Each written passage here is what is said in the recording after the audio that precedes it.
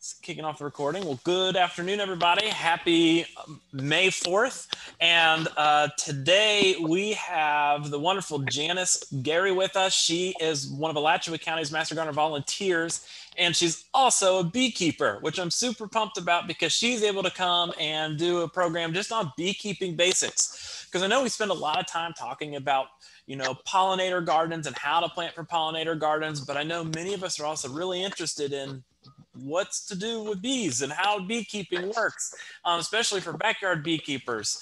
Uh, so um, I want to thank everybody for joining us today. And if you have any questions, feel free to put them in the Q&A box. Um, because what we'll be able to do is the, the panelist and I will be able to follow those questions on there and respond to those questions. And um, then what we'll end up doing is as we respond to those questions, they'll pop up on your screen. But you can also put little notes or if we ask questions, you can put those things in the chat box. But this is recorded and we'll follow up with everybody with a copy of the presentation so you can always reference and reference it later. But I do want to thank everybody for joining us today. And especially, I want to thank Janice for taking the time to put this presentation together. I've already been telling her like maybe five times that I'm super excited about this presentation. so, Janice, uh, thank you very much. And you can take over from here. All righty. Well, thank you everybody for being here. I'm very excited to talk about one of my very favorite topics. And I have a lot of favorite topics, but beekeeping is on top of the list. Um, you will see my subtitle here is for love of honeybees. Um, my intention today is not to talk you into being a beekeeper. Like all hobbies, beekeeping is not for everybody. My intention is for you to leave this um, chat having a new appreciation for honeybees and what really wonderful creatures they are and how important they are to us, even though a lot of times they are unrecognized and to appreciate beekeepers and what it takes to be a beekeeper and what it takes to produce that honey and what it takes to pollinate crops. So hang on to your beekeeping hats because here we go. I began beekeeping in 2012 um, because every August, which is a terrible time in Florida, um, there is National Beekeeping Day and the Gainesville Area Bee Club put on this big um, festive festival about beekeeping. And I went, I saw a hive inspection, I started chatting. And then three neighbors, including myself, so there are two other neighbors, stood in the middle of the street and talked about how cool it would be to be beekeepers. And from that, we developed a plan that we were going to choose one of the houses. It was my neighbor's house across the street. And that's where we were going to put hives. And we were going to do it as a beekeeping trio. And it, it, turns out that's actually a really great strategy. When you first get into beekeeping, there are so many things to know. When you go into the hive, there are so many things to look at that it actually turned out to be a great strategy to have three sets of eyes and three sets of hands. So we did that for a couple of years before I said, hey, I love these girls and I want them in my backyard. So from there, I started keeping them in my backyard. Um, I was uh, president of Gainesville Area Bee Club for five years. I actually was president before I had bees, which just goes to show in all organizations there is a desperate need for leadership. Um, so that was a fun thing to do. I am uh, a hobbyist beekeeper. There are different levels of nomenclature for what kind of beekeeper you are, depending on the number. Um, interestingly, in the state of Florida, beekeeping is allowed in all cities. Um, it was a state law that was passed, gosh, 10 years ago, because we're an agricultural state. So in my backyard, with where I live, with my size of area, I'm allowed three hives maximum. Uh, during the uh, during the uh, peak of the season, I can have an additional three, um, but during uh, the most of the time, I can have three beekeeping for me is a hobby that is more than the sum of its parts. You talk about the little bits of it to get um, as separate, but when you put them all together, I can tell you that I've been doing this for, gosh, 10 years, and um, it never ceases to thrill me. It is just, it is just the most fun hobby. It's always a surprise. The girls are always up to something new. So, um, why be a beekeeper? I am somebody who really enjoys being outside. And when you are a beekeeper, you become very aware of the climate, you become very aware of the seasons, you become very aware of botany because it ties in so closely to what your bees are doing and what your bees will be doing. And beekeeping is all about strategizing and, um, and preparing the best environment possible for your bees and having those things in place ahead of time. For me, it's another great reason to get outside. I habitually go out and watch my girls flying in out of the hive. I like to see what color of pollen they're bringing in. I like to see their energy level. I like to see um, what time they get up in the morning because if it's cloudy, they're going to get up a little later than if it's uh, sunny. Um, it's just so, some people liken watching bees to, you know, how a fish tank is just naturally a calming, interesting activity. Well, for us, that's how we feel about watching bees come and go. Um, honeybees are fascinating. I like to say that honey uh, uh, beekeeping is a very intellectual experience. There is so much to know about these little critters. There is so much new that they're always doing. Um, it's just a fascinating activity and um, it, it always keeps you thinking. They're always keeping you thinking so for honey for uh, uh, beekeeping products when i first started i had no intentions of actually collecting any honey or wax or anything like that. I just thought it was a very fun thing to do. It turns out that in a typical year for me out of two hives in my backyard i harvest between 100 to 120 pounds of honey and please keep in mind that that's leaving 50 pounds of honey for the bees. So honey has become a huge part of my diet. Goes in my coffee, goes in my yogurt. I have some very nice appetizers and snacky kinds of things that I make for guests. I get Meyer's lemons from my neighbors whose trees are pollinated because of my girls. I give them honey. They give me lemons and we make lemonade.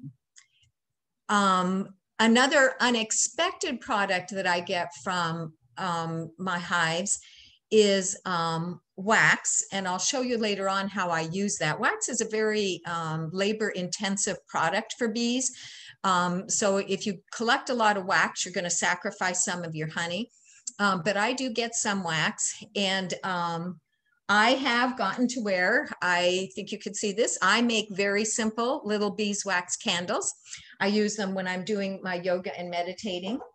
I also make a product that is, um, it's about 30% beeswax, about 70% olive oil. And then in this, I put um, some lavender essential oil I feel like uh, Doc's medicine show because truly this is a product that I use on everything. I use this on my antique furniture. It enhances and nourishes the wood. I use this on my skin. Um, I use this on wounds. Uh, wax, like honey, has antimicrobial products in it and it helps with healing. Um, and you may have noticed I have curly hair. This is actually a lovely styling gel for curly hair.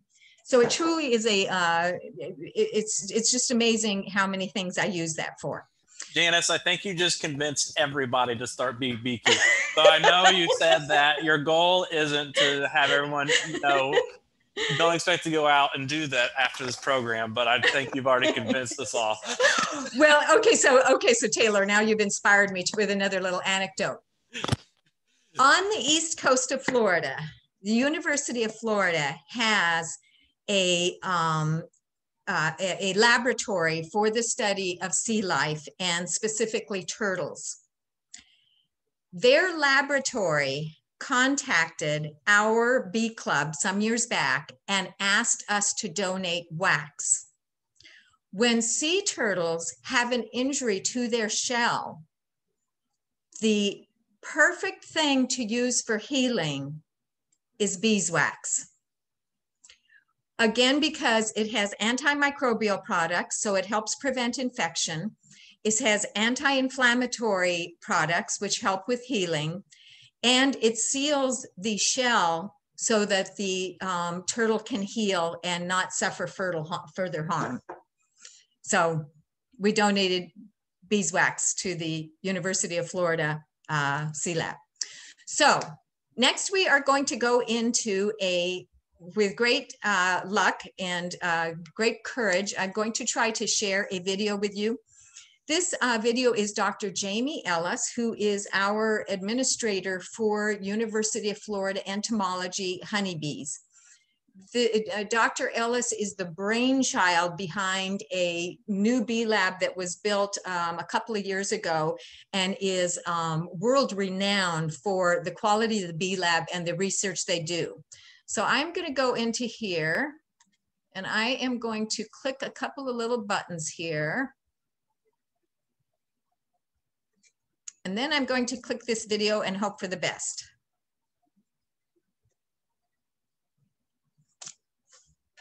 This unforgettable vacation memory.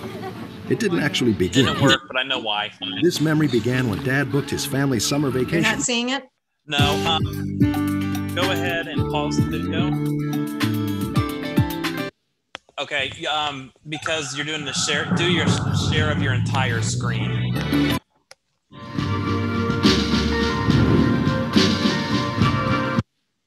I'm going to skip that. Okay, um, go ahead um, and do this is just a second uh, do a stop share and reshare again but your entire screen rather than just the powerpoint um, if it's okay with you, I'm going to skip that. Okay.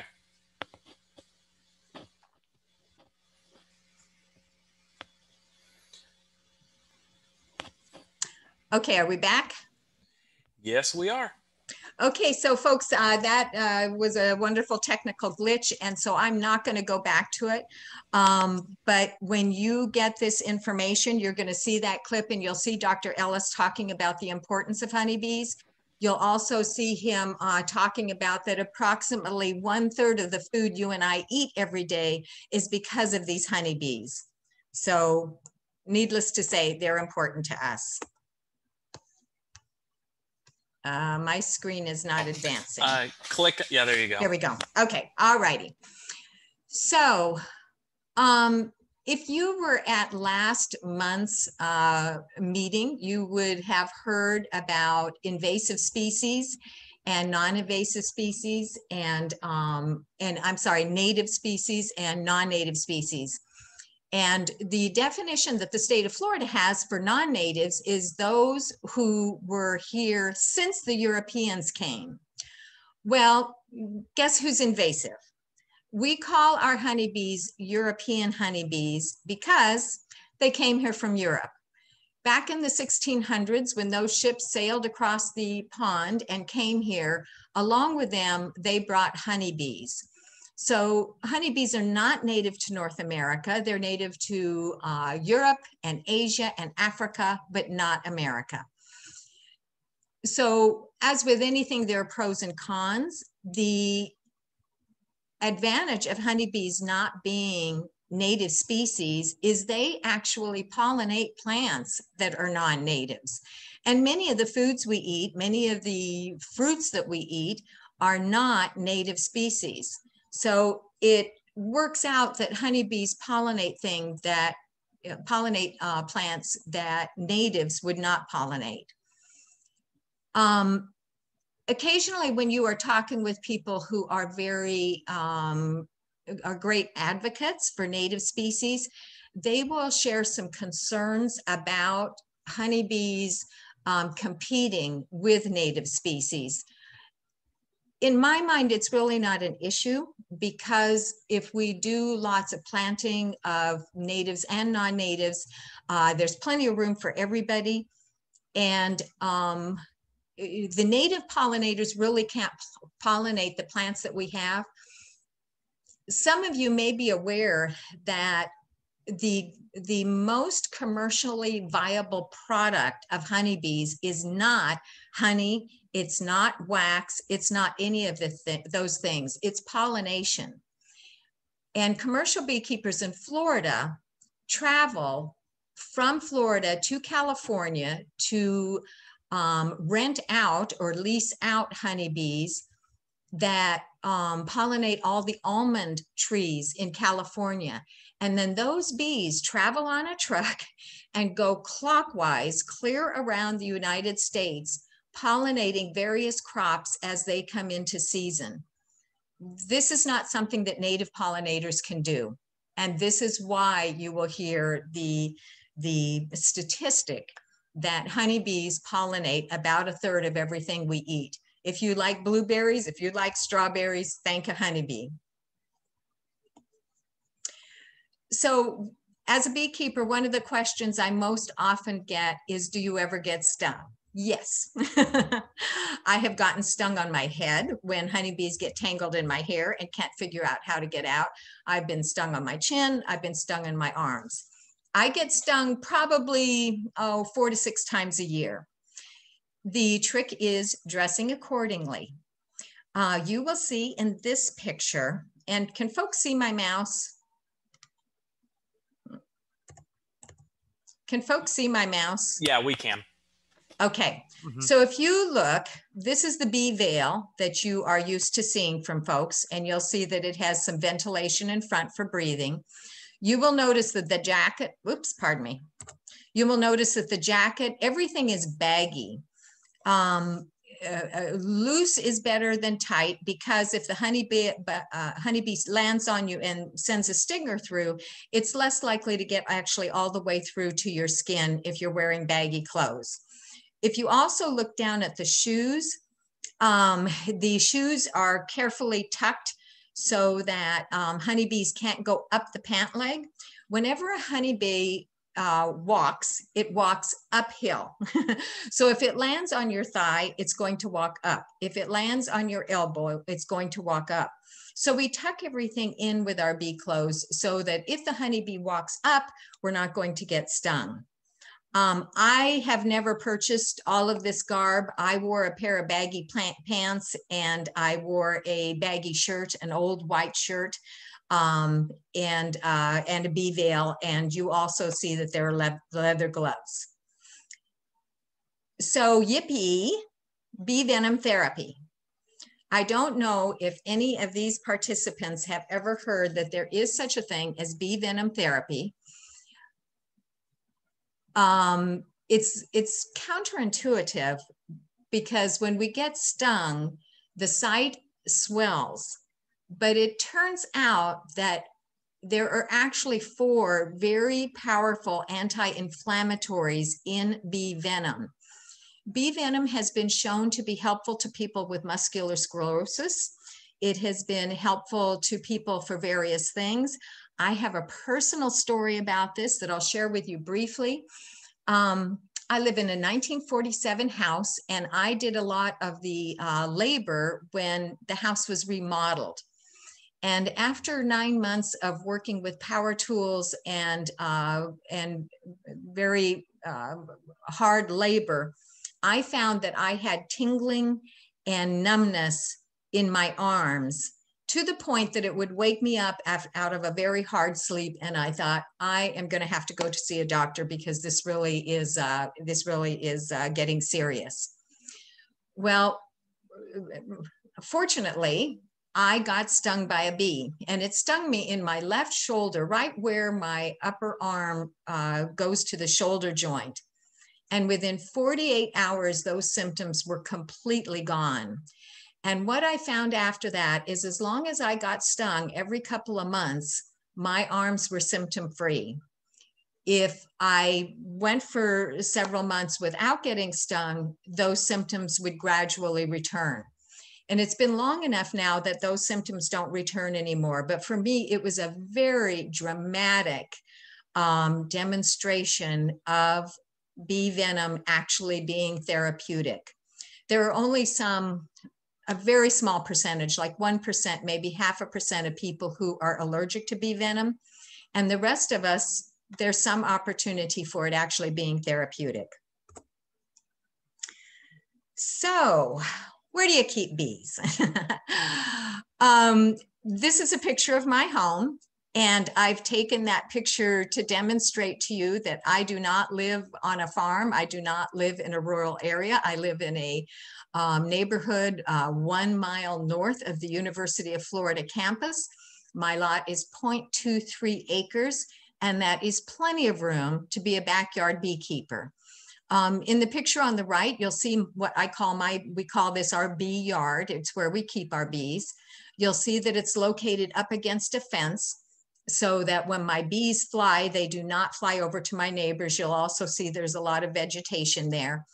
Um, the advantage of backyard beekeeping, and this again is counterintuitive, or, or I'm going to call it um, urban beekeeping, is there is lots of stuff in bloom. People have gardens, people have fruit trees, people have flowers.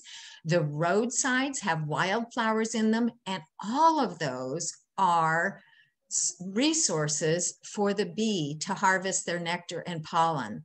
In contrast, I when when I was very active in the bee club, we had over a hundred members, and many of our members lived in rural areas. And in contrast, in a rural area, you may have one type of flower that blooms, and then it's done. And there may be a period of dearth where there is nothing blooming. And those rural beekeepers actually have to feed their bees sugar water, which is a very second rate nutritional, um, it keeps bees alive, but it really doesn't have nutrition.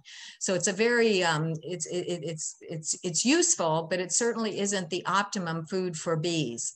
So I have actually found that living in the city and living in a neighborhood with lots of vegetation has worked to my advantage and worked to my bees' advantage.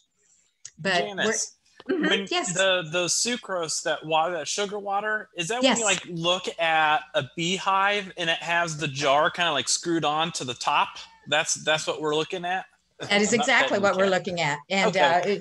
uh, on, on one of the slides, we're going to talk about tools. And I actually brought my little jar in here to show you, but that is exactly what you're looking at. And, and to your point, Taylor, when you drive out in the country, very frequently you will see those beehives with sugar water on top. And what that tells you is there is not enough for those bees to eat um, and so the person has had to um, supplement their diet with sugar water. There were a couple questions that did pop up. You probably okay. might and you might sure. address them later. Um, sure. I know Ruth answered some of about beekeeping registration and inspections with FDACS. Um, yep, but it's coming up. in okay, so you have talked about regulations of like how to if like in Gainesville, if there's any regulations, do you have anything like that? I don't know yes. if we have any or not. Okay. Um, yes, and and um, and I I haven't talked. Uh, I have actually in my uh, on my last slide is a list of resources. And um, it, there's a link to registering your, uh, your hive here in Florida. And um, in addition to that, um, uh, so you, there is a registration requirement here in Gainesville, like um, here in Gainesville, and, and these are these are statewide guidance. Um, I am allowed three hives. And if somebody lived on an acre, they would be allowed more hives. Mm. Um, and all that information is available on the state website. Perfect. Thank you.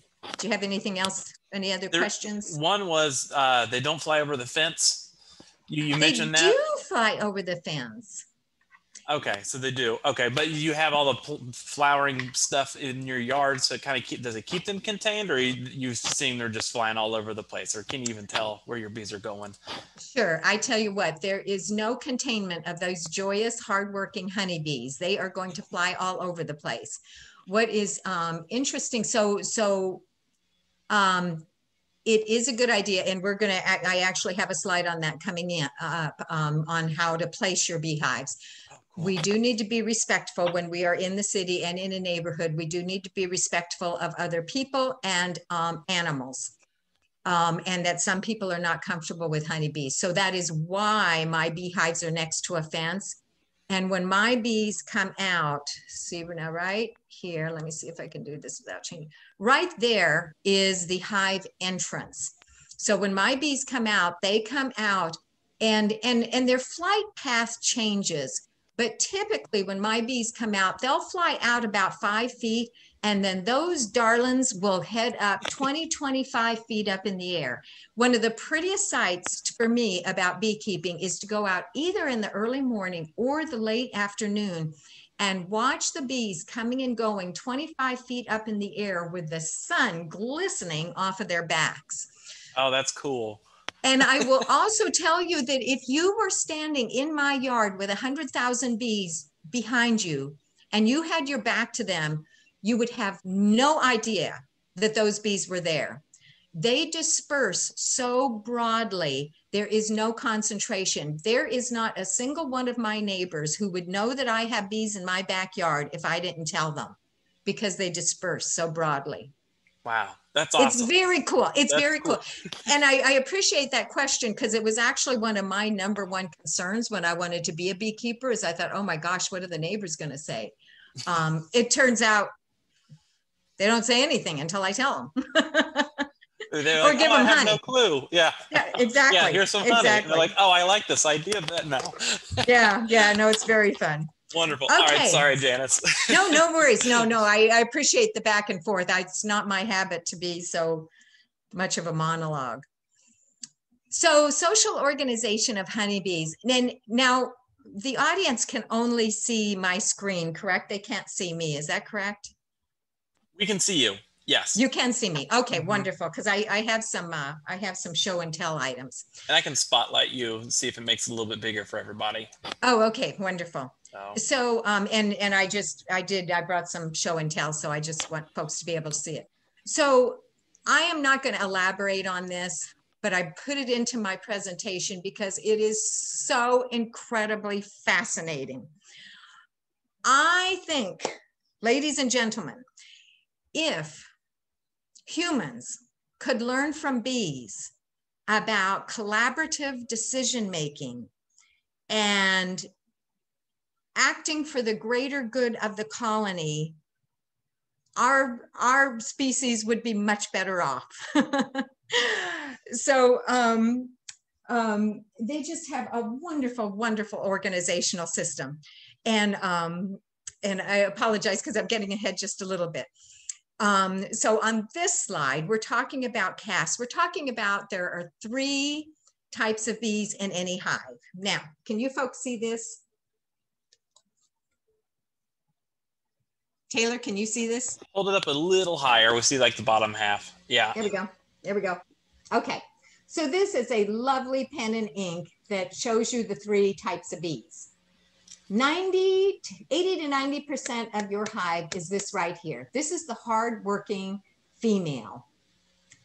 This is the queen, and you'll see that this queen has a very long abdomen because she has thousands upon thousands of eggs in her abdomen.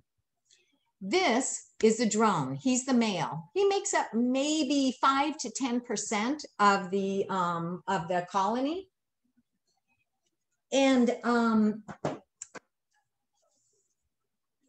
gosh, I always wonder how much detail to go into, and I think I'm gonna. I think I'm not going to go into too much detail.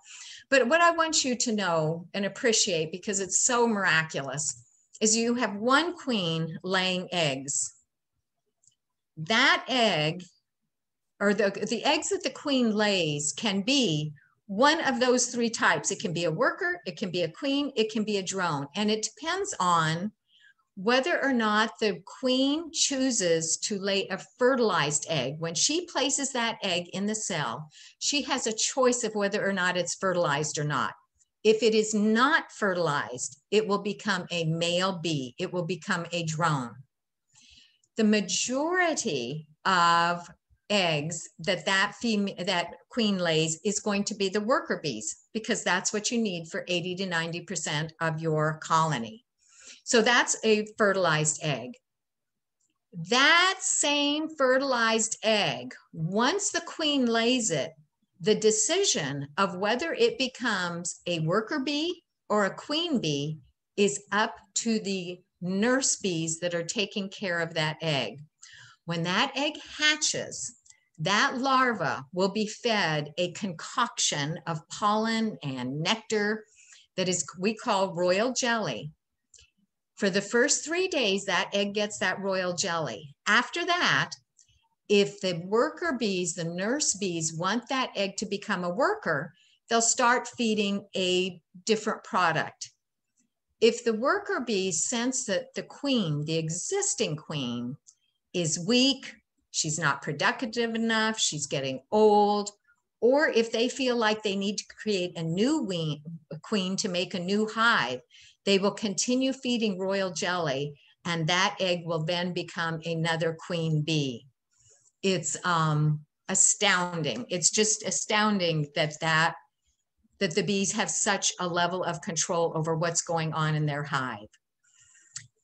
Um, the in the hive, uh, talking about task divisions, there are various tasks. The first task is cleaning out the cell where the babies are born. Uh, another task is the queen always has attendants around her. They clean away her poop because she never leaves the hive to poop.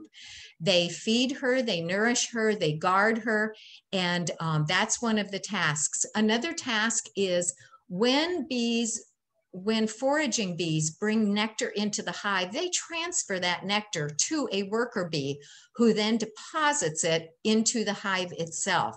So that's another task. Another task is being a protector, being a guard bee. The guard bees typically sit at the entrance of the hive or right inside the entrance. And if they sense danger, they fly out of that hive and they defend the hive. And each of those tasks that I'm describing, each worker bee goes through each of those tasks and, and they go through them in a, in a sequence depending on their age. So the first thing they do is um, take care of the cells and do the cleanup jobs. The last task every worker bee does is foraging. So I can pretty much bet that every bee you have ever seen is an old lady bee who is out foraging and she's at the end of her life and she will literally work herself to death foraging for nectar and pollen. So communication, communication is another thing that is just marvelous about bees. They have two primary uh, means of communication. One is through pheromones, uh, the odors that they put out. They can put out an alert pheromone that says, hey, our hive is under in danger. We've got to protect our hive. Uh, we need to sting anything that's around. Um, uh, another pheromone can be um, the queen is constantly putting out pheromones, and those pheromones, the quantity and the quality of those pheromones, tell the worker bees, tell the rest of the hive how well she is doing and how healthy she is doing. And that's how they know that they need to make a new queen and replace her, is if her pheromones diminish. Um, another uh, way of communicating that the bees have is one that I know you've heard of. It's called the waggle dance. And once again, I have a video clip, but I am not, I just don't care to spend time with tech messing around with it. When you get this presentation, you're welcome to look it up. We'll, we'll share it with everybody. Make sure that okay. they can have it. Mm-hmm. Wonderful. And the waggle dance is a very specific um, set of behaviors that a bee goes through when she has found an excellent source of pollen or nectar, and she is communicating that source to the other bees. Please keep in mind, this is happening in a dark space. a beehive is a dark space. There's very little light in there because it's all closed up. So the other bees sense that waggle dance by being close by and sensing where it is. Um, and and she she tells the location of the food source according to its direction from the sun. And this topic alone, you and I could spend the next six months talking about because it's really complicated and it's really cool. And it's one of the many, many, many wonderful things about honeybees. Okay, moving on.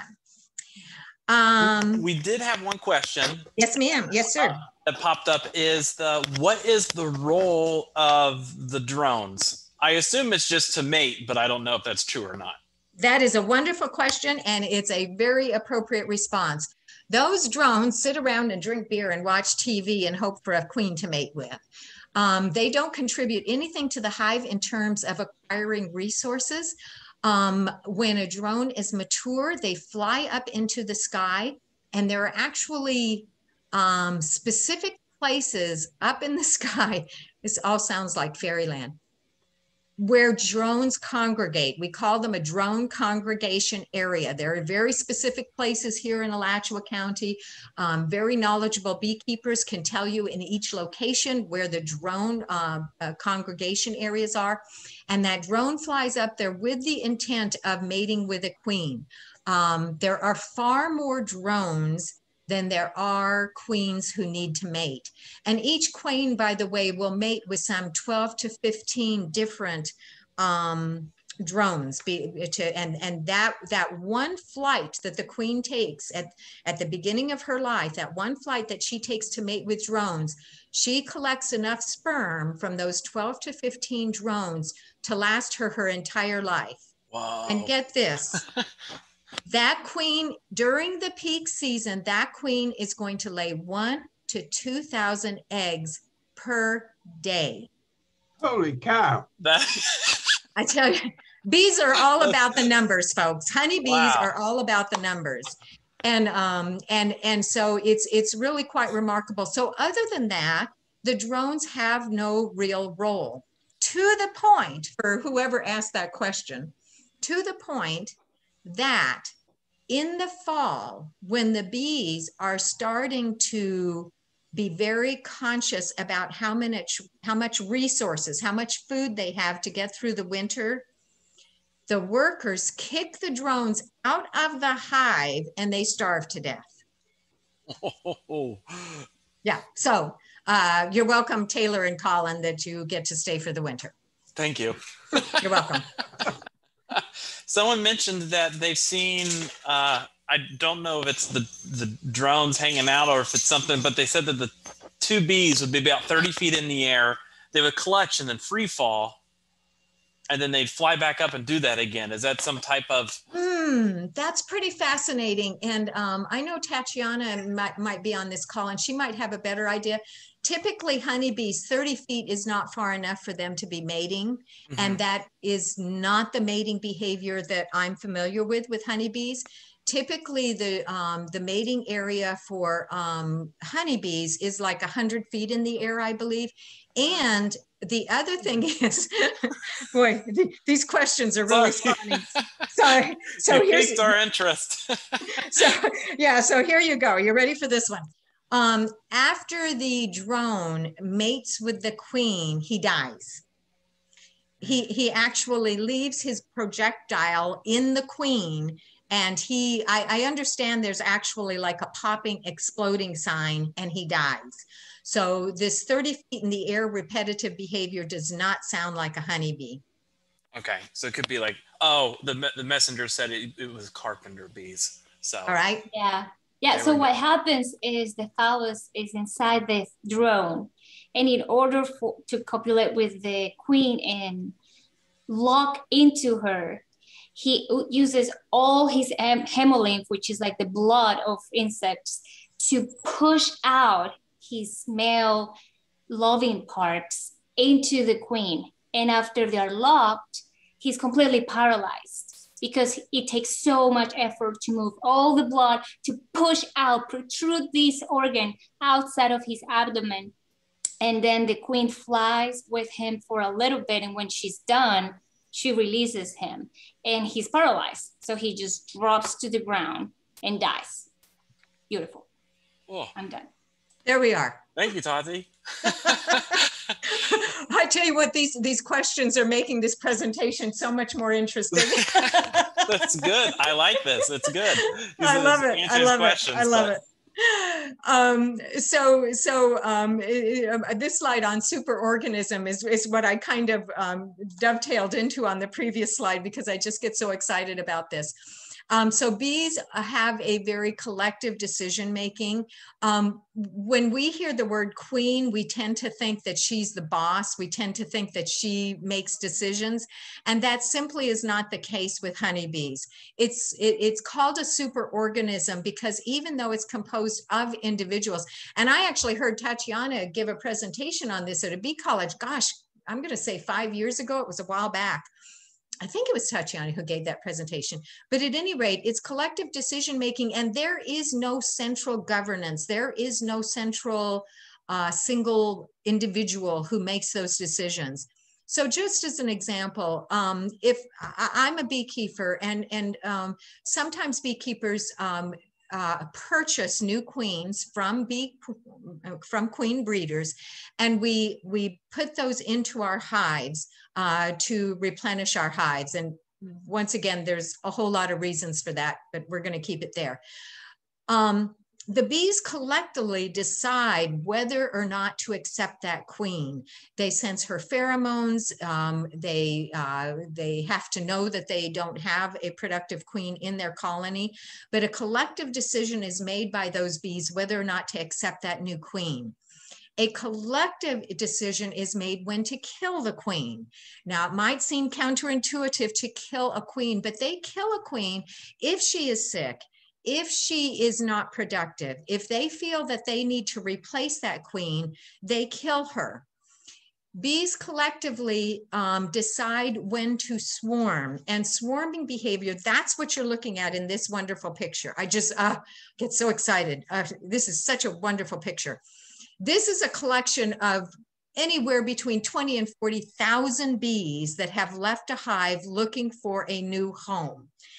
And uh, the bees have collectively decided that they have outgrown their current home.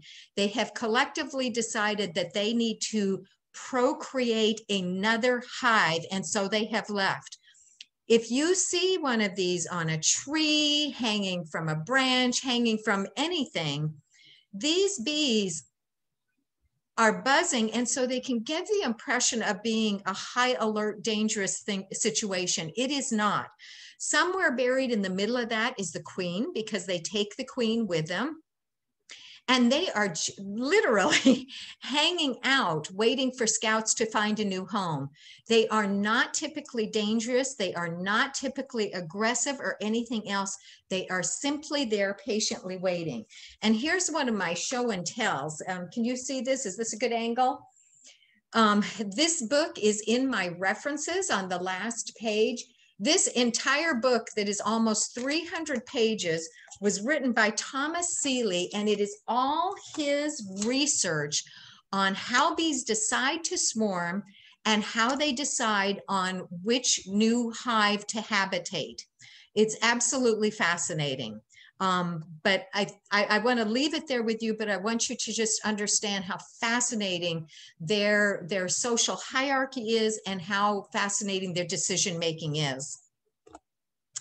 Great. Okay. So that was kind of, that was to catch your attention. And I'm sure all that stuff about the drone caught your attention. Now we're going to start talking about the ABCs of, of, of, beekeeping. And please know this is a topic that could easily take a couple of hours. So we're just going to fly through some of the very basic highlights and, um, and just give you a taste of what it takes. We call our place where we have bees our bee yard. A bee yard should be mostly sunny. It's okay for it to have a little bit of shade, but it should be mostly sunny. Your entrance, and again, let's point out the entrance here is right here, um, should be facing um, uh, the south, um, keeping in mind that here, and, and this once again, please understand that beekeeping is very local. If you are not sitting here in Gainesville or in Alachua County or in Florida, you need to talk to people who are local. Here in Florida, our storms come from the west and from the north. We do not want the entrance to our beehive uh, facing towards inclement weather. Now, having said that, I'm going to tell you that my beehives are, in fact, uh, facing north. But in my neighborhood, I have so many trees, I have such a protected area, it really doesn't matter. Um, you'll notice that there's a fence, there are shrubs so that my bees are not gonna hop over the fence to my neighbors. The neighbors that are on my other side are kind of far away. And by the time my bees hit the fence on that side of my yard, which is maybe 50 feet, my bees are already 25 feet up in the air. So nobody is uh, no nobody is in danger of being a part of the, um, the flight path for those bees. Um, behind your bee hives, you should have a good six feet, and that's where you're going to work your bees. When you are in front of the beehive, there are going to be all these bees coming and going. When you are behind the beehive, there probably won't be any bees at all. They only use the front door. Um, so because of that, if you leave space behind that, that's where you can have your equipment. That's where you can do your working of bees without standing in the middle of where they're, they're coming and going. There should be no tethered or caged animals nearby. In a later slide, you'll see that I have chickens. When I go out to work my bees, if my chickens are not already free ranging my backyard, I let them out. There should be nothing tethered within a couple of hundred feet. And that's actually one of the uh, state of Florida guidelines uh, for beekeeping uh, is how far those tethered animals have to be or caged. Um, you will see that these hives are elevated. Um, uh, there are a couple of reasons for that. One is it helps keep them away from ants. I mean, you've got a box full of honey, so clearly uh, ants can be a problem. It also is good just in terms of being the beekeeper. You don't have to bend over as far, so far to, to get your bees. And it in general just keeps your beehives cleaner. Uh, so you want to have them elevated. And you'll see that in this, in this slide, I have some cement blocks and then I have some four by fours that are across that. And, and my hives are actually sitting on my four by fours. There are a couple of ways of elevating your hives. There's no one single way to do it. Okay, how to build a honeybee hive. So what you need is you need a bottom board. I'm gonna try to do this without changing my slide. That's this one. And in Florida, you will see that this area is a screen. Here in Florida, where we have such warm weather, that screen allows ventilation for the hive. Uh, in other climates where it's cold, a lot of times that that will be a solid piece of board so that you don't get so much ventilation because the ventilation is cold. Uh, here is what we call a brood box. When you hear the word brood, think baby bees. Um, brood is um, the queen lays an egg, the egg becomes a larva, the larva becomes capped in a cell, very similar to the metamorphosis process or the, the, the life cycle process of a butterfly. And that's what we call brood. So when you think brood box, this is where all your babies are going to be. So the brood box is, is fairly deep. It's about 12 inches deep, and that's what this one is. Then you're going to see a frame. This is a frame, and I have a show and tell frame. This is a narrower frame. You can see it's not 12 inches, it's about six inches. And you will see this yellow plastic stuff on here. You'll hear that it's very hard. And this is called plasticell. And if you look very closely, you will see that that plastic is in the shape of honey cells. This is um, and I also want to let you know every single thing that I'm saying about beekeeping, there are exceptions. And there are lots of different styles of beekeeping. There are lots of different styles of hive boxes. This particular one is called the Langstroth uh, method for uh, hive equipment. It was created over 100 years ago by a gentleman in Germany called Langstroth. And it's, it's, it's, it's actually just brilliant um, because the measurements are very specific for bees. So um, the reason this is plastic and it is actually sprayed with a very thin coat of wax, it's just a starter kit for the bees. It just means that the bees don't have to work quite as hard to um, to uh, get started on building their wax. The wax is the first thing they build before they could do anything else. Um, so that frame, that single frame, is in this picture, you see 10 of those frames all the way across. And that is what you see. That's the inside of what you see when you are driving down the road and you see a beehive. Inside that beehive are these frames. Typically in those, it's 10 across.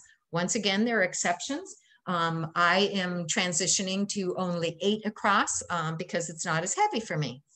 Um, but that's it. And then the other thing is you're going to need a lid. Here's a lid. There's nothing very sophisticated about this. And Taylor, going back to your question about jars on top, here you will see that this lid has a hole in it that I have blocked. And that hole, peekaboo, is what you put your honey jar in. Here's a honey jar. You put that honey jar in there, and that's exactly what you see when you're driving down the road.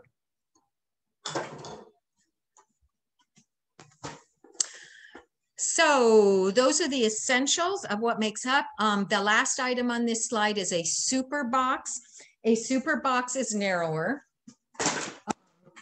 just like I showed you on here. That's about six inches.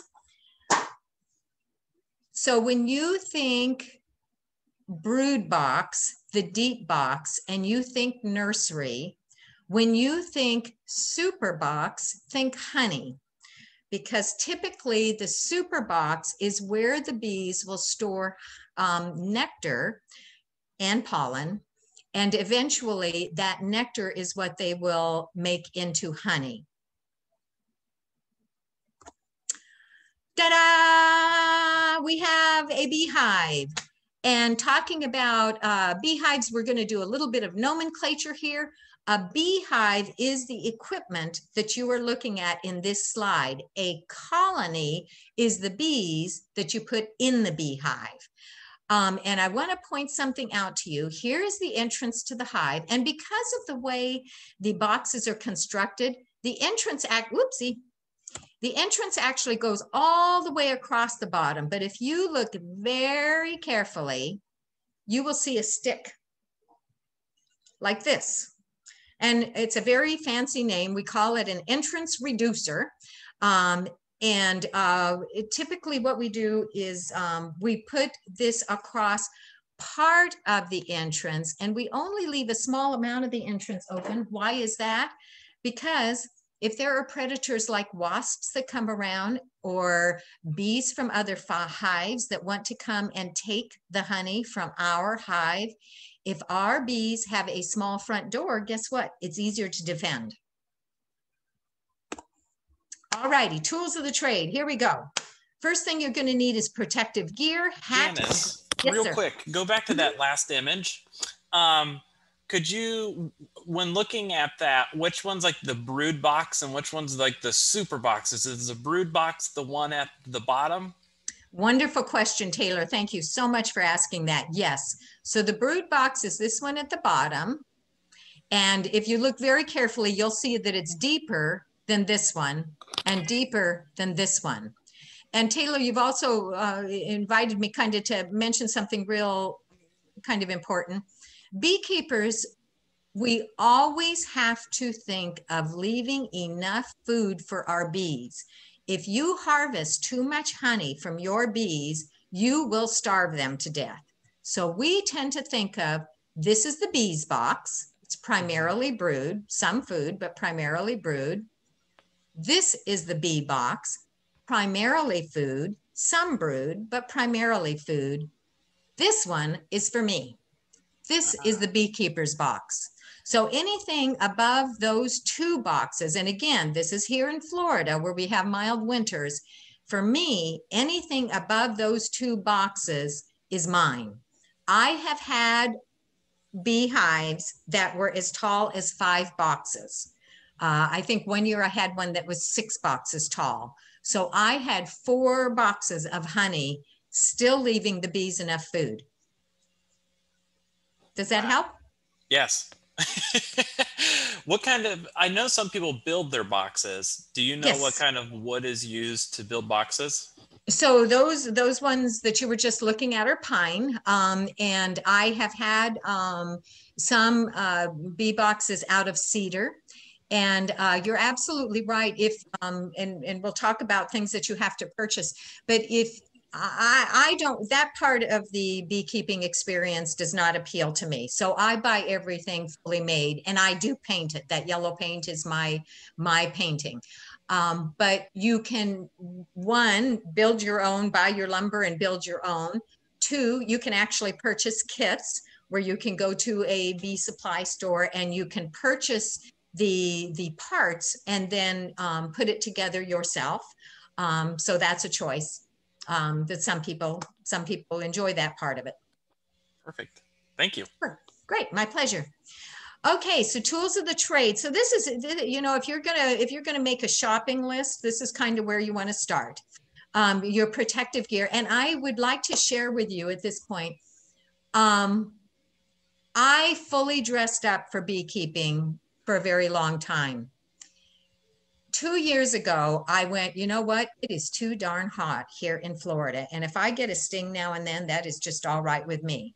My current beekeeping attire is a, um, um, it's a t-shirt with narrow straps and a pair of yoga shorts and uh, socks and shoes and my hat and I actually use gardening gloves for my hands now. I have I don't use the big leather ones anymore. And um, you will uh, uh, uh, bees typically when you go into the hive, um, and we'll talk about this in a minute. Their first intent is not to sting you. Uh, sometimes they get grumpy, especially towards August. But as a rule of thumb, I as I say, I dress like that and I still maybe get stung maybe once a month, maybe once every other month. It just isn't an issue. And I just find that it is too hot here in Florida to wear the full garb.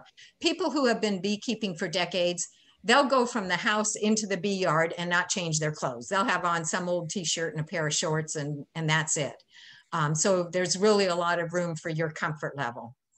Um, you are going to need a, whoopsie, pardon me. You are going to need a smoker. I have my smoker here to show you. Um, and you will see, is this a good angle, Taylor? Yeah. Okay, so you have to have fuel for your um, smoker. I have chickens, so I always have hay at my house. So I use hay. Some people use pine straw. I also have acquired some uh, wood shavings from a carpenter. So I'll put my straw in and I'll, then I'll put some wood shavings as well. Um, and um, once I do that, I close the lid and I will tell you that it is a skill set in itself to learn how to get a smoker going. And then I puff like this. So here's a very tricky question for those of you who have been listening. The two ways that bees communicate is by pheromones and dancing behavior. How is a smoker helpful for bees staying calm and not wanting to smell you and not wanting to uh, attack you. I just gave the hint away. Do do do do do Have do do do do do do do do do do do. We'll wait for. We'll see what some people put in the chat boxes. I hear some. One person says it disguises. Um, it messes up the pheromones. That's what I was going to guess. It kind of disrupts the smell of the pheromones, disrupts pheromones. Precisely. If those bees are smelling smoke, um, then that means they are not smelling the pheromones. So that is exactly what it is. It disguises the pheromones. Um, and it is um, uh, it is it's just amazing how effective it is. And what other else is amazing is how long i mean for hundreds of years people have recognized that if you use smoke when you're doing um, beekeeping uh, you get stung less. The other thing i will mention is there's one other theory about it and that is that when the bees smell smoke they think in terms of forest fire and they think in terms of their hive might be in jeopardy. What they do is they go and engorge themselves with nectar and or honey so that if their hive is in danger, they can fly away and have some food sources. Well, any of us who have eaten a large meal know that when your stomach is full, you become more lethargic. So one theory of the smell of smoke is that the bees engorge themselves and they become less active. I don't know how much truth there is to that, but that is another theory about it. So, uh, excuse me. so I'd also like to show you this handy dandy little hive tool. As you can see, it's a very simple thing. When I am in my hives, if my fingers represent two frames, I take my hive tool, I stick it in there and boop, I can prop up my frame so that I can take that frame out and inspect it. this is, uh, it's extremely simple and it's extremely useful. It's not something you wanna go into your um, hive without. Um, I showed you an entrance reducer. I showed you the feeder. Um, so let's go down to buying bees. Where do you buy bees? Well, you buy bees at a bee store, of course. Um, in uh, beekeeping has become so much of a popular hobby. I think in a whole lot of cities, there are some kind of bee supply stores. Here in Gainesville, we are extraordinarily fortunate to have Dadant um, Bee Supplies, which is a commercial bee supplier that also sells to us little backyard folks. Um, right in High Springs, it's 20 minutes from my house. There are only like seven of them in the entire country, and we have one right up the road. You can buy bees um, in several different ways. And you know what? It's getting a little late, so I'm not going to go into that. Uh, but if you decide to become a beekeeper, there are several ways uh, to buy bees. And, um, and that's how you get started. If you belong to a bee club, sometimes people in the bee club will have extra bees to sell. Um, here, the last item on this is Florida does require registration for all hives. And I tell you what, folks, this is an example of where this really benefits us all. There is a disease called foul brood that is so devastating and so contagious that if it is found, the hiveware and all the bees are burned on site. And so Florida requires registration because they, because once again, we're an agricultural state. Um, Florida keeps track of all its bees and all its registered uh, uh, uh, beehive or, or beekeepers um, so that if there's if there's there are lots of reasons for doing it. But one of the reasons is that if there's foul brood that is detected uh, they can easily uh, it and they can uh, take action on it promptly. It's something that benefits us as beekeepers. Um, i've had um, state inspectors come look at my hives and they have taught me so much. Well they have had their noses in my hive so uh, it's really a wonderful thing. Um, um, and it's, it's important to do that if you're going to be a beekeeper here in Florida. Hive inspections. Why would you stick your head in the thousands and thousands and thousands of bees? Well, because it's such a thrill. I can tell you that pulling out a frame that looks like this just still just almost gives me goosebumps. I get so excited because there's so many wonderful bees on there and I they're energized, they're active. Um, but here are the here are the technical reasons. I gave you the emotional reason for inspecting a hive, but here, are the technical reasons. How is her highness? The first and foremost thing you want to know is how is the queen bee? Now, please appreciate that when you're looking at bees, once again, you may be looking at 100,000 bees. You may be looking at 50,000 bees. Finding a single bee in all of that is extremely hard. But guess what? You don't actually have to see the queen to know how she is doing. You look at the brood, you look at the babies that have been laid, you look at the brood pattern, you look at the other bees, you look at their energy level, um, and you can tell how the queen is doing and without seeing her for months and months and months. Now, if we are lucky enough to see her, we get very excited because who's not excited to see the queen? Um, but if we don't see her, we can still have a very productive uh, hive inspection. The other thing you're looking for is, is there enough food for these gals? If there isn't enough food, then guess what? You need to give them some sugar water. You are always, always, always looking for pests. Um, the number one pest I think almost universally in the United States is the varroa mite. There are ways of testing for varroa mite um, because it's very hard to see. It's it's it's actually a um, um, a parasite. So if there is a parasite on a bee, you can appreciate how tiny it is. Um, so it's very hard to see um, with the naked eye while you're doing a hive inspection, but there are ways of testing for them. Um, a pest that is uh, number two on my list anyway is the hive beetle. It is big enough to see with the naked eyes without any trouble at all. Um, you want to see, um, chances are you're going to have some hive beetles. It's all about balancing and not getting too many. You have to look at those frames to see is there still enough room in those frames for the queen to lay more eggs and brood. Keep in mind that during the peak season, your worker bees are only going to live for about 30 days.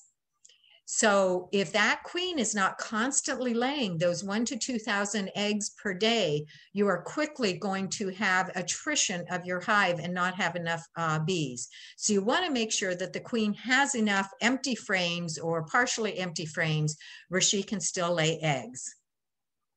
And then there's curiosity. Honest to Pete, it's just amazing how many things you can learn from watching the bees each time you go in. I always say it's like Christmas and opening a package because you just never know what's going to be in there when you open up that hive. It's just so much fun. But having said that, mind your own business. Imagine if some giant came to your home and lifted off the roof and started rearranging furniture. That's a little bit like what is happening when you go into your beehive we three people, I'm in the middle, and this is uh, Mark and my neighbor uh, Marjorie.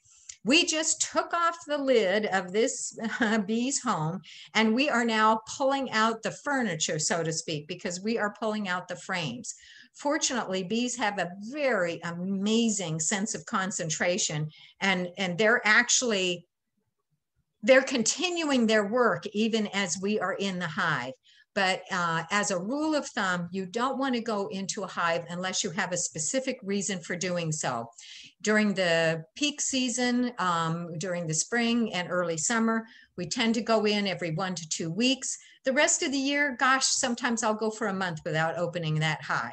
But you don't want to go in unless you've got a reason, some, some reason that you need to check on your girls. So is beekeeping for you? Well, um, as I said at the start, I'm not going to try to talk you into it. It's totally up to you. There are some startup costs. To my recollection, I spent some six to seven hundred dollars um, when I started up. By the time I purchased all my equipment, um, the the good thing about that is is that equipment lasts for a long time. I'm still using some of the equipment that i bought in 2012 some of it went into a state of disrepair but some of it is, is still good. But there is um, a, a fairly significant startup cost Beekeeping in Florida is hot. um, you think it's hot in August when it's 95 degrees and you're sitting on the front porch. Imagine putting on protective gear and going out in the sun and opening up a hive.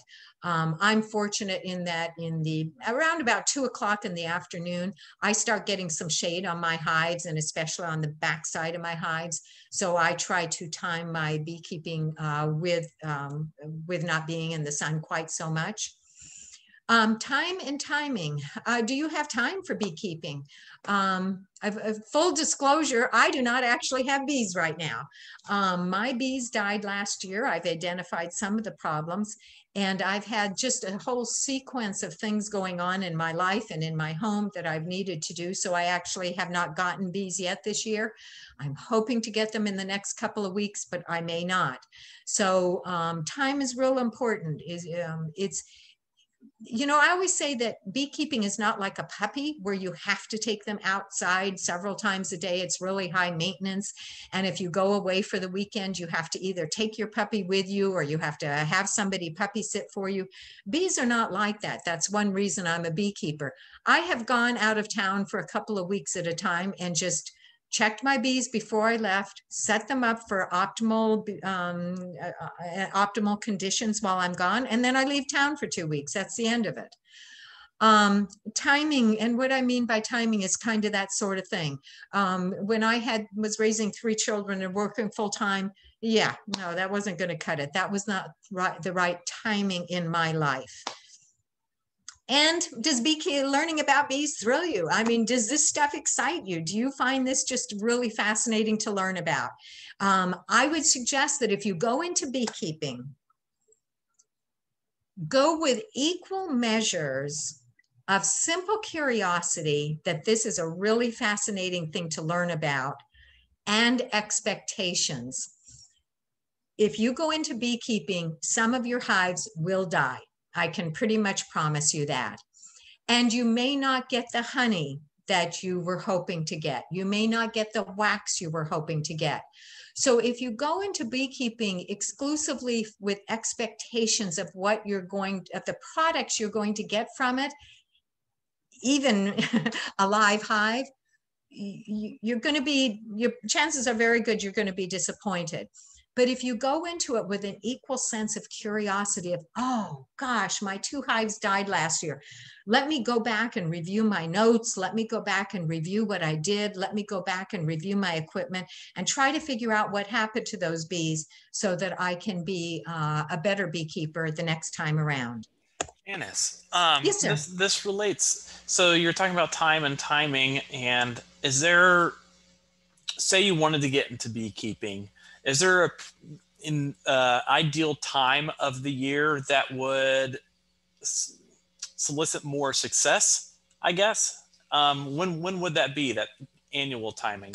Wonderful question. And once again, this is very local. So I can only speak to Florida because this is the only place, and, and specifically to Alachua County because this is the only place I have ever been a beekeeper. It's a wonderful question, Taylor. First of all, I would say if you want to start beekeeping next spring, start reading now. start looking at hive, hive inspections, and, and we'll go into that here in a minute as well.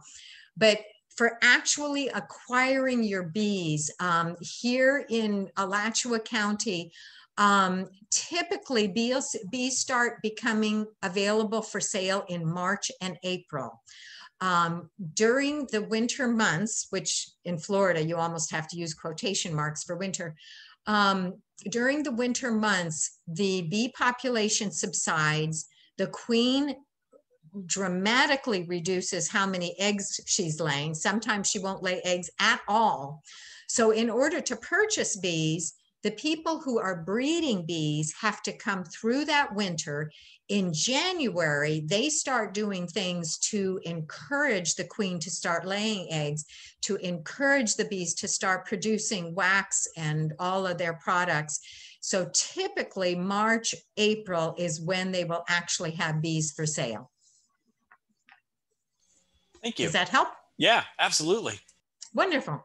Okay, so gosh, there was actually one lady named Peggy who was biting at the pit for this presentation. And she says, what about honey harvesting? What do you basically have to have? And the next couple of slides are gonna cover that. This slide I chose because it is just a wonderful slide for you. You will see that on this frame of material, there are two distinctly different um, areas. The area at the top is capped honey. Bees are very tidy creatures. And when they are processing nectar, and, and, and I guess actually I should start with the nectar. This is nectar. And if you look very closely, I think in your screen, you can see that it's a little bit shiny. Um, and that's because it's nectar um, out of the flower. And, and it's probably in the bees are probably beginning to process it to make it honey. And two things have to happen for them to process it. One, they, it goes through a series of glands um, in the bees that become honey. And the other thing is, is the bees have to, they actually use their wings to fan this stuff to get the water content below 17%. When those things have been accomplished, those tidy little bees actually put a lid on the cell. And keep in mind, I, I apologize if I use nomenclature. This little individual doohickey, this little hexagon is called a cell. And so the bees actually, once the, the nectar has been fully processed into honey, they cap it. If you harvest nectar, it's going to ferment. It is going to spoil. If you harvest this honey, it will not spoil. This frame, I would stick back in the hive and I would not harvest this frame. It has too much nectar and not enough honey. But at any rate, the intent of this slide is to show you what you are pulling out of the hive that you will use for harvesting. Um, and I will also tell you that um, uh, it's important ahead of time to figure out where you're going to do your honey harvesting. I am extremely fortunate to have an absolutely ideal situation for honey harvesting. My bees are in the backyard in the back. When I go to harvest honey, I pull my frames, I put, put them in a bucket, I walk clear around my house to my front porch and I have a large screened in front porch with tile floor that is absolutely ideal for setting up my harvesting equipment. You have to go far enough that the bees won't follow the odor of the honey because they will smell it and they will go trying to get their honey. Um, and I don't mean that in an aggressive manner. It's just the bees are always foraging, always looking for food. So typically after I finish harvesting, harvesting, there's one to two dozen bees who have found their way to my front porch and they're on my screen, but they can't get in because it's screened. No, so I know first, we're running mm-hmm. out of time, but it just, there's so many questions. Um, the, can bees differentiate honey types? So if, can they tell that it's the honey from their hive or, um, um, or is it just honey's honey? Doesn't matter. That's an interesting question. I don't know the first answer. I don't know if they can distinguish honey from their hive versus other. I would suspect they can because they're so, such perceptive, perceptive creatures. Uh, the other thing is it doesn't matter. It's all food to them. It's all food to them. So they're, they're going to follow the scent of honey because it's the scent of honey, not because it's necessarily theirs. Okay, thank you. So the first thing you have to do when you go to harvest honey, oh, I am so sorry. Every time I try to use my cursor, um, it goes on. In this picture on the left-hand side, you will see an individual holding a hot knife. It's an electric hot knife, and he is slicing off the lid to the honey because you cannot get the honey out of the frame until you have removed the lid. Now there are a couple ways. Um, that hot knife, I was not crazy about it. If the knife gets too hot, it can scorch the honey. If it's not hot enough, it won't slide through the wax. Keep in mind it's hot because it's designed to slice through the wax. Um, I just was not a fan of that. I, I am a fan of simplicity. This is a, um, oh gosh, what do we even call this? Um, we call it a comb. And basically all we do is we take that and we scrape those caps off of the um, off of the we scrape off the lid of the wax um, so that we can get to our honey and i want you to notice ah darn it okay down here you can see that pile that pile is the thin sheet of wax that has been cut off from the frame that wax is what I use to make candles. I have an old crock pot. I stick that wax in my old crock pot, melt it down and make candles. So even though I don't I don't do a lot of wax harvesting from my hives because I'm more interested in the honey. This is a way that I am able to capture the wax and use the wax for something else without taking away from my uh, my colony, my my hives. Okay, I, I know it's getting late, so I'm kind of speeding up here.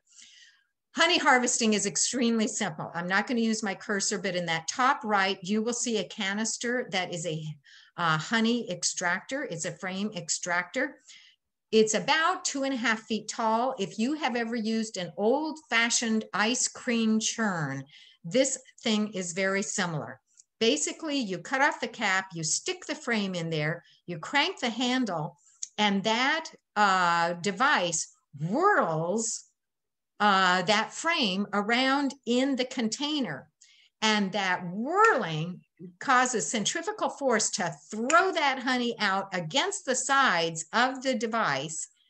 And then it simply, um, um, it, it, simply um, drips down into the bottom. And guess what? In this picture on the left, go very gently, Janice there is a spout on the bottom of that canister. And all I do is open that spout and you'll see the white bucket down below. That white bucket actually has a fairly fine filter on it. And that honey goes through the filter and in the bottom. And guess what? Then I take it to my kitchen sink. I have a bunch of clean jars that I have recycled from other purposes and I fill the jars up. And there on my counter, you're seeing about 30 pounds of honey that I got from that harvest. In a typical year, I will harvest honey two to four times and get, as I said, uh, anywhere from 100 to 120. I think one year I got 150 pounds of honey. I think that year I had three hives, but primarily two hives will give me that much honey. It is a glorious thing. I just love it. That's a so lot. fascinating. fascinating facts. This is something you can read at your own. I just wanted to make sure that I ended the talk uh, with uh, something fascinating. Uh, I will say that uh, down at the very last um, uh, bullet on that, you'll see the documentary Honeyland is about the struggles of a beekeeper in Macedonia. This is not a light documentary. It's it's um, but it's fascinating because it gives you a sense of how long people have been beekeeping and they don't have all the equipment you and I just talked about. And they don't have protective suits that you and I just talked about. They just go out there and collect honey from bees. Um, so that's that. Uh, how to get started early. Um, read uh, and and uh, on my resources, you're going to see IFAS is just full of resources, absolutely full of resources. And there's some links to get uh, to that. If you only had that one resource, you'd be in great shape to get educated to be a beekeeper. Join a local bee club. Beekeeping is local. The locals there will be able to tell you what to do. Uh, and here, uh, use the uh, IFAS website, read, see the recommended reading. I've suggested several books for you. Observe a high inspection. Uh, wherever your local bee club is, believe me, they are so used to getting requests to observe a hive inspection. Just contact them and ask if they have any beekeepers who would be willing to let you join them. Um, if beekeeping isn't for you, please support local beekeepers, buy local honey. When you go to the farmer's market and you see a jar of honey and it has a $15 or an $18 price tag on it, don't complain. You have no idea the work that these beekeepers have put into um, creating that jar of honey that they can sell to you at the far farmer's market. It's very important to su uh, support them because they're doing this for a living. And um, that's what you can do without doing any beekeeping. Please avoid pesticides and uh, herbicides in your gardens and thank a bee. You'd be very hungry without them. Thank you so much for your attention. I, I, it's been very fun. I also have beekeeping and ecosystems. I have chickens. My chickens go over to my bee yard. You'll see them over here. They eat some of the pests that would harm my bee, bees. Uh, my chicken poop goes into my compost bin. I have a rain barrel. I never use city water for watering my plants. I use a rain, rain barrel. I got my solar panels on my roof. And um, beekeeping can be a part of being a conscientious consumer and being a, aware of our environment and how we can um, be more friendly to our environment and our Mother Earth. Thank you so much. May I answer any questions? that was stellar. That was so good. Um, I think I think we're going to overwhelm FDACS. You know, this next spring we're going to probably have a bunch of requests to uh, for new beehives. that would be a good thing. So I do have a few questions. Um, my son just joined us. Shh, buddy. Um, could you talk a little bit about the colors of hives? Because I know that you your hives they were yellow. Is there a mm-hmm. reason you color them yellow, or is that just for fun, or is there something that's associated with colors and attracting bees? Wonderful flowers uh, and their home. Yeah, so so the bees don't really care. Uh, that's me in aesthetics. I find yellow to be a very cheerful color and it stands out. You do want to avoid dark colors. You want to avoid dark colors in your clothing. You notice that uh, the the ghee garb is always white, and you want to avoid dark colors for your hives. It it absorbs more sun. And I have heard the theory that bees associate dark colors with predators like bears, raccoons, whatever. And for that reason, um, bees are just very sensitive to dark colors. Uh, having said that, I have seen many people do their beekeeping in a pair of jeans. Oh, pardon me. Um, uh, but we, we do tend to stay uh, away from dark colors. Other than that, um, it, it's really up to your choice um, and what appeals to you. Wow. Thank you very much. And I do want to put a plug in because you're talking about, um, you know, if you're not going to do bees, how to support local bees populations. So on, um, there's a really cool publication I'll share with everybody. It is like natural pesticides or how to control pests with natural products in your yards and landscapes because following integrated pest management strategies so to minimize pesticide use and herbicide use. But also um, we have our uh, plant sale coming up and the plant sale on may 15th at Cuscowilla in micanopy from 8 a.m to 12 p.m and we have plenty of pollinators there that bees love so I was out there this morning and there's just bees everywhere. Well, oh. pollinators oh. everywhere. Oh, so they were they were having a field day. That's so exciting. And and you'll see uh, tagging into you. Yeah, and our master gardener sale is always fantastic. There's so many wonderful plants and it's we grow these plants. So we we they're they're quality plants. You'll see um, that on on my reading list is Bringing Nature Home by Doug Tallamy. And quite honestly, that's only um, peripherally uh, associated with my bee talk, but it is such a wonderful book about the importance of native plants that uh, I stuck it in there. Wonderful. Is that the one that Wendy Wilber recently did as the state uh, book, yes. book club? Yes. Yep. Yeah. Yep. That's a good book. That's a very good book. It's a fantastic book. I just, it really was an eye opener to me. So there's one other question that I think was kind of answered earlier, but um, what do the bees do, uh, like the pollen versus the nectar? Wonderful question. So, Paul, fantastic question. Pollen is protein. Nectar is carbohydrates. A mature bee typically just uses nectar. They only need the carbohydrates. But pollen is needed for the babies. So when that egg hatches and it is in the larval stage, the bees mix the pollen with the nectar and create baby food. and um, so that's the importance of pollen. Um, so in your hive, um, gosh, I don't know about proportions, but the majority of the food that the bees will collect is going to be nectar because everybody needs nectar. A smaller proportion will be the pollen and that's and and and when i as a beekeeper go into a uh, a, a beehive and see lots of pollen i'm very happy because that tells that's one of the signs that i can see that i got a good active queen. And those workers are bringing in pollen because they know that that ba- uh, that queen is going to be cranking out babies. That's great. And i think colin has a, a question. Uh, can you hear me? Yes. Uh, Janice, that was a fantastic presentation. Oh, thank you so thank much. You. thank you. So, what is the prevalence? And uh, you didn't get into bee diseases, obviously, and problems, but just for me asking, what is the prevalence of the colony collapse disorder here in Florida? Is it is oh. it prevalent yet here? That is that is a wonderful, wonderful question. And first of all, I would say I, this is a topic I do not know a lot about. Okay. Um, my understanding is that colony collapse disorder is only a term that is used to describe a phenomena with commercial beekeeping oh, okay. operations.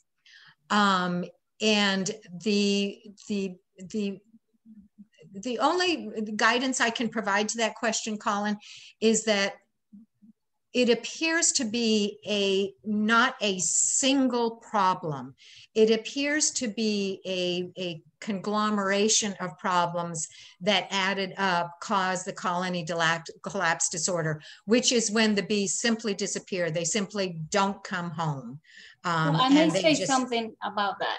Thank you. Uh, colony collapse disorder yes you're correct janice is a conglomerate of things that affect honeybees any apiary can um, can be said that had uh, colony collapse. It can be backyard, sideliner, or commercial. Some of these stressors that contribute to colony collapse are um, typically the number one for, by most beekeepers, regardless of the scale, is Varroa. Uh, that goes as, uh, with loss of habitat, um, which results in loss of nutrition. So poor nutrition to the hives definitely affect them no matter what. Um, pesticides, um, bad, bad weather, that's something that cannot be controlled, but is one of these stressors. And then uh, queens, poor queens or uh, weak queens, how some beekeepers call it, but that is kind of like a very vague term that depends sometimes of the genetics and again, how is that colony being, being maintained? Colony collapse is not something that we can necessarily avoid. We can minimize the stressors to honeybees to our best. By, and if you want to help bees, the best thing you can do is to provide some habitat. Diversify your landscapes. That is the best way to help honeybees. The only way that currently exists to really keep um, the hives free or not free, but at low levels of varroa mite in the United States, unfortunately, is through the use of miticides. There are a lot of alternatives. There's a lot of things that we can do culturally to try to help the bees, but currently, unfortunately, we will have to recur to do constant monitoring and when we reach the threshold, treat for varroa mites sorry, Varroa. And Tatiana, if I'm not uh, mistaken, there's been a recent change now uh, by the uh, FDA that um, uh, the miticides now have to be prescribed by a veterinarian. Correct.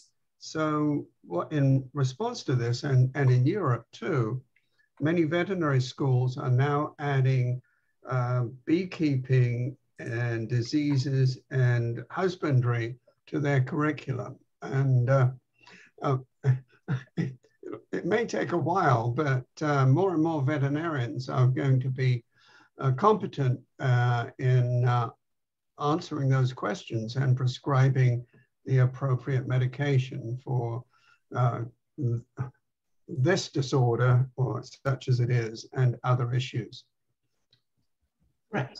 says the says the master gardener veterinarian. Good luck for veterinarians. uh, and that place will be the bbfd.com and that's where people applies for the prescriptions for controlling varroa mite so if you decide to get into beekeeping you need to become very familiar with varroa how to monitor it and how to treat for it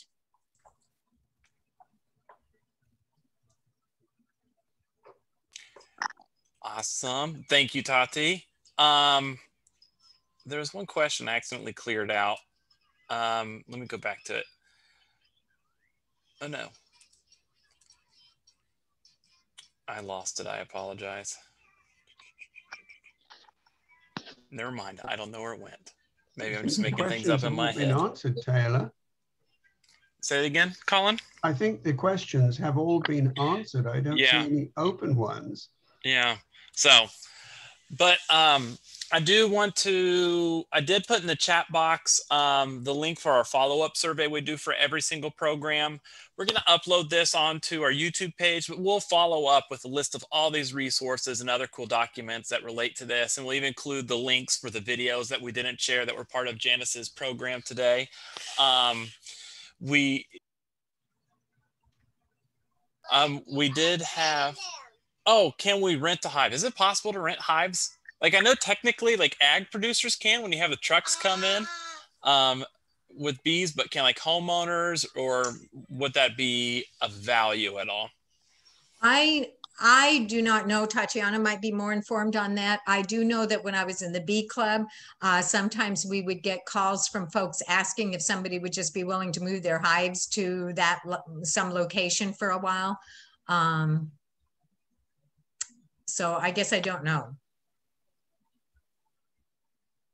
Yeah, it's mostly on like on beekeeping to beekeeper to beekeeper arrangement if you want somebody to look after your apiary um, some farmers ask if there is a beekeeper that can bring their hives but um, there, there needs to be a contract on that because you as a beekeeper your interest is to keep those bees alive and the farmers need to produce a crop. So if there is any fungicides or, or insecticides applied, that may kill your bees. So the renting is really like, if it's for commercial purposes, there is a contract in between and there is a specific language for it, but uh, not commercial renting of bees is more of like a person to person arrangement. And it depends, uh, like a lot of people what they encounter is there is not enough uh, foraging or there is not enough food for their bees to mm-hmm. forage. So that's when the, that type of situation present themselves that they need to move their apiary to other locations because their colonies are weak. They're not getting enough food into the into the colony. Thank you Thank you. Well, I think we've come to the end of the program. And um, again, I put that follow up survey link and we'll follow up with information. Um, Janice, thank you. That oh, it's been such a joy to be here with you. Thank that you. That was such a fun presentation. Um, thank you. Yeah. Thank and you, thank you um, Colin. I know there's one question that will we have bees at the new extension office? And yes, we'd like to have bees. So it's just a matter of how we're going to maintain them and all of that stuff. But um, so we have Janice that can help teach us. so, something, right. to, something to look forward to. Absolutely. Well, thank you everybody and thanks for joining us um, and uh, again thank you janice and the master gardener volunteers that helped out thank you tatiana she's our commercial horticulture agent here in alachua county um, and just as a reminder we have our plant sale on may 15th um, at Cuscowilla, which is in Micanopy. It's from 8 a.m. to 12 p.m. and it is full of wonderful pollinators to help support your um, plants or the, your bees within your community and other pollinators. Anyways, Janice, thank you very much. And thank you everybody for uh, My pleasure. Thank you. Thanks for joining everybody.